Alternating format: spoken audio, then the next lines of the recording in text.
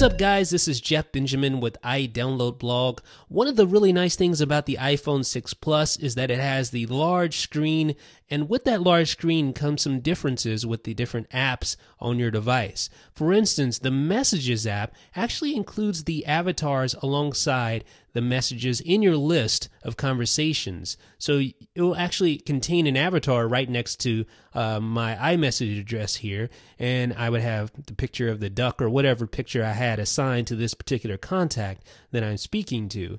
Well, on lesser devices, including the iPhone 6, you don't get that, which is kind of weird because technically there's plenty of space there for uh, the avatar. But there is a jailbreak tweak that can fix this up for you, and I'm going to show you that right now. So let's head over to Cydia, and let's just go Cydia.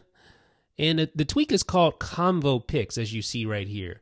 Um, so ConvoPics is right here, and it does require iOS 8. It enables the iPhone 6 Plus conversation list pictures on the default Messages app for all devices. Uh, so we're just going to install this right now. All right, and once we come back up, I'll show you that you have the avatar right next to your your list of conversations of each conversation. Uh, so that is nice. So let's go ahead and unlock. Let's go back to our messages app, and there you go. You see the uh, avatar right next to the uh, the conversation.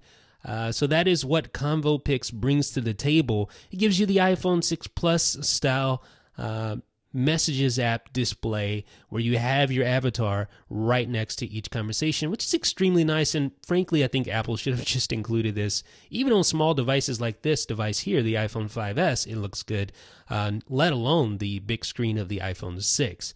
So hopefully Apple changes this in the future, but until then, you can always go out to Cydia's BigBoss repo, download Pics, and then you have this. Uh, this avatar right in the stock messages app. There are no options to configure, just install it and go. It's free on the BigBoss repo. It's called ConvoPics.